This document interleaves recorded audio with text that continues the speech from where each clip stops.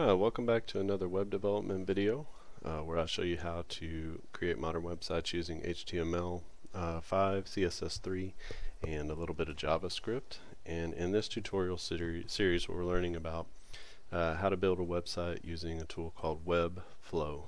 And you can find it at webflow.com. And so far this is what we have.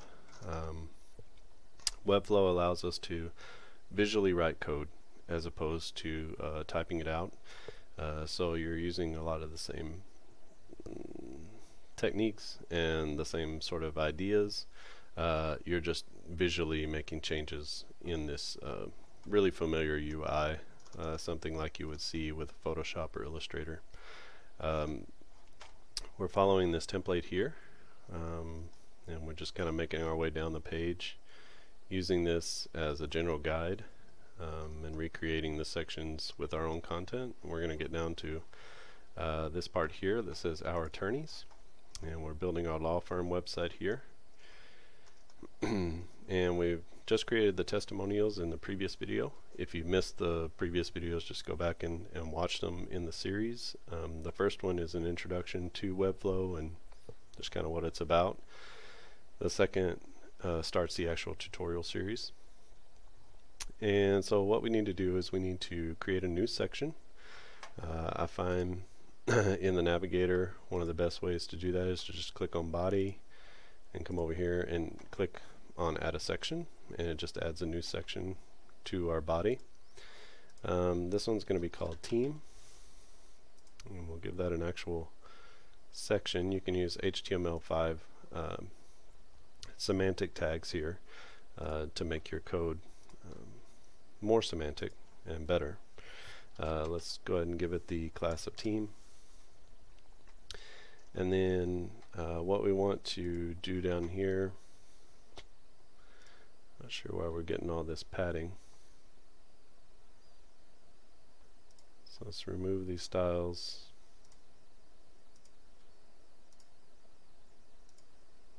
I think that might have been from a, a previous iteration of this video.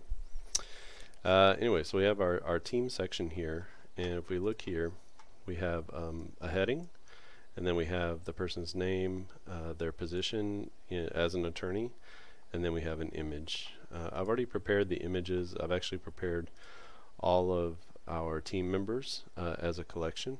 So I have it under attorneys, and you can see here that's uh, Malia Jones, and she has an image, John Barker, and Kyle Livingston. So I've already prepared these images to be square uh, like you would see here where they're already a square image. Uh, I just did that in a, a, image editing program. And we just need to build out the space where these where these things live. So if you see up here we have what's called a, an inner div. And so let's go ahead and create that down here too. Uh, we can come down and click on a div block and just drag that in. And we're going to call that team inner. And we're going to give that uh, max width of 1200 that sounds right. And um, it'll already be centered here. I have some of these uh, classes done because I did this video once before. So team inner is already set. And then I'm going to come up here and I'm just going to copy and paste this section heading so just control C and then we come click inside of our team inner, do control V, and then that should be in there. Let's give it uh,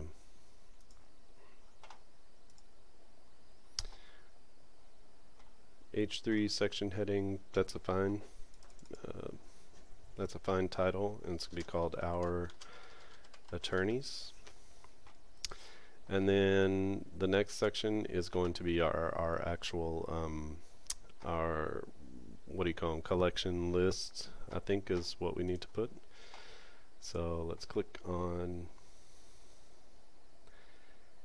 our collection list and we'll drag that in underneath our attorneys into the team intersection. And then we need to connect it to the right collection. Uh, the attorneys is the collection that we want to connect it to and um, we want to do three across let's go ahead and set that up so you can see here that we have uh, our attorneys. Uh, we actually have too many attorneys. Let's go ahead and get rid of a few of these.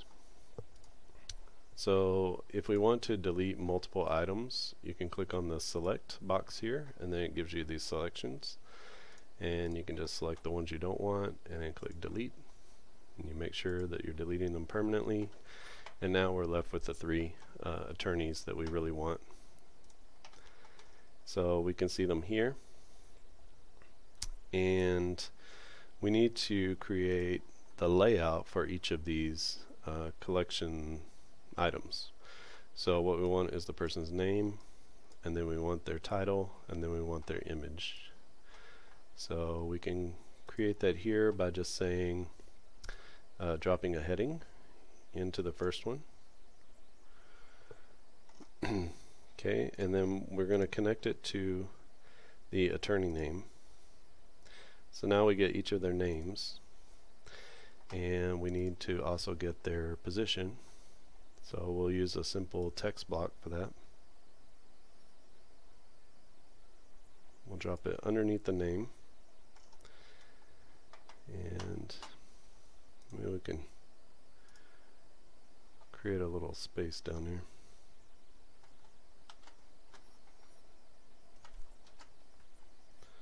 Sorry, sometimes this uh,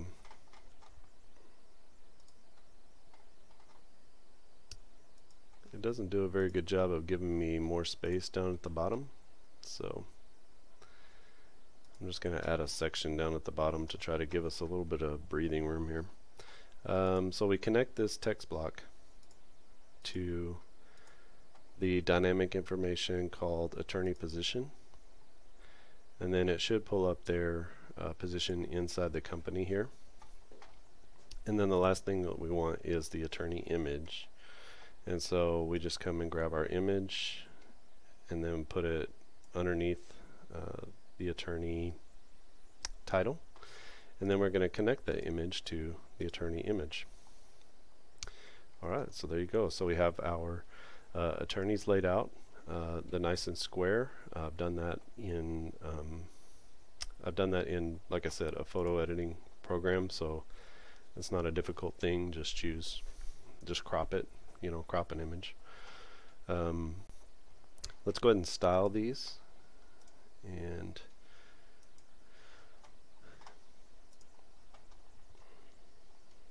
I figured out um, how to go ahead and, and create um, how to set a what do you call it, a font for the entire um, the entire document.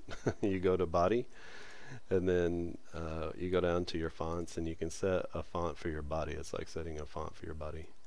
So I'm going to set uh, Montserrat, which is what we've been doing for everything. That way when we come down and we add text in that, it, that we don't have to do that on an individual basis anymore.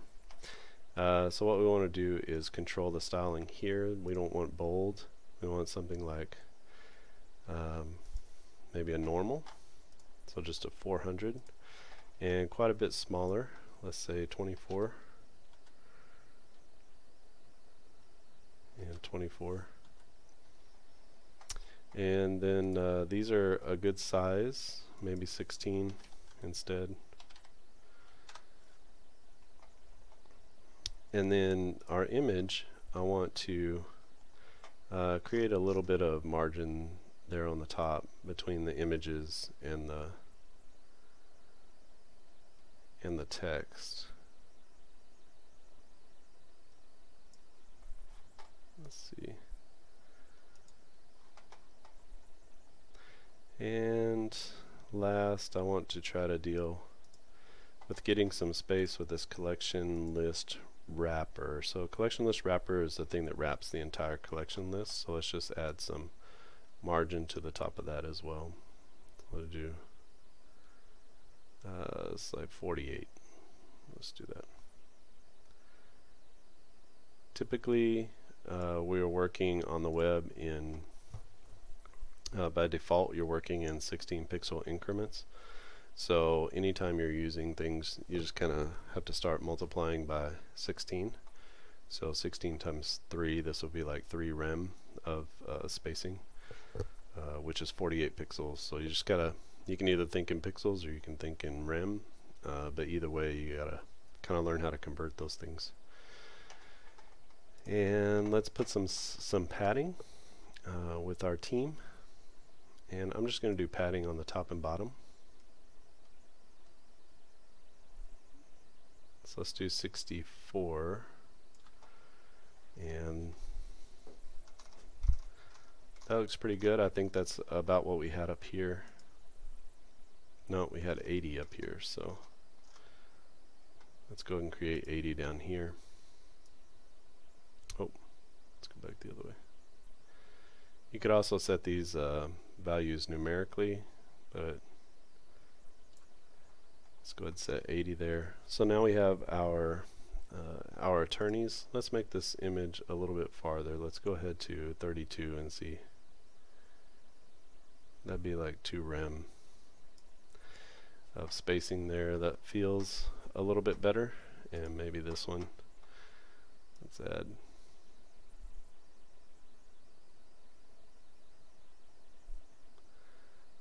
uh, full 16.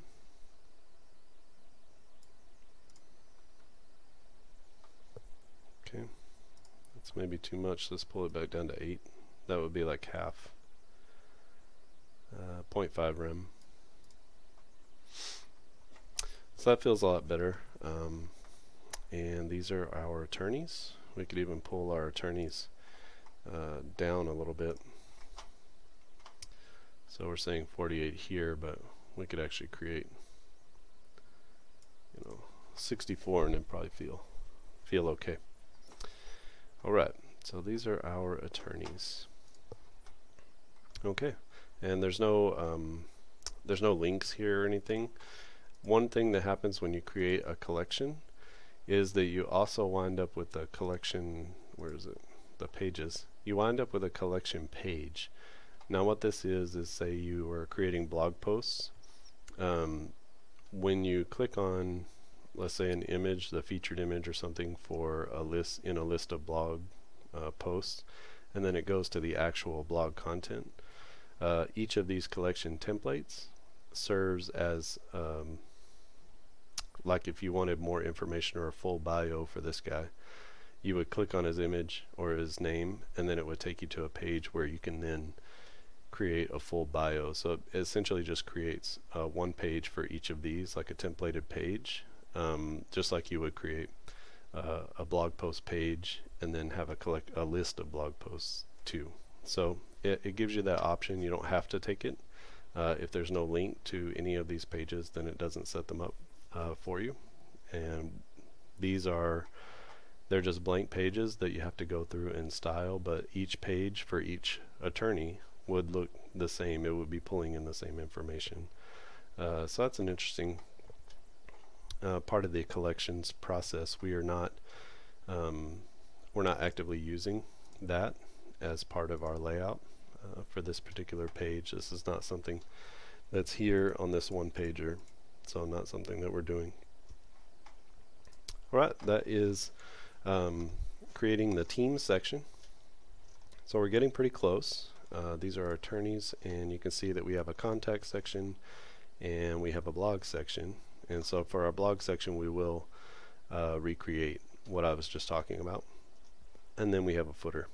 So those will be the next few videos going forward. Uh, if you have any questions, please leave them down in the comment section below. Uh, I'll be happy to get to them as best I can. And again, you can find uh, Webflow at webflow.com. Uh, thanks for watching, and I'll see you next time.